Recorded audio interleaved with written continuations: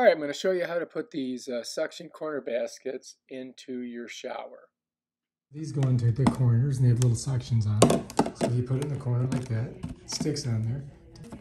So it gets stuck like that and there's a little tab there. You pull it, pull the tab right there and that loosens it. See the tabs at the top? So once you get it on there, you got to use that to get the suction off. Keep the tabs up where you can get to them. or you put them on the bottom if you put it up high. What we want to do is we want to put it right down there so we get a little extra area to put our stuff in, like those two bottles. And so I'm just going to go in there, just like that. I'm just going to push it in. Yeah, I'm done. There it is. Ready to go. Finished. And that's how you put it in. All right, if you like this video, subscribe to my channel and check out my other awesome videos where I do stuff like this. Peace out.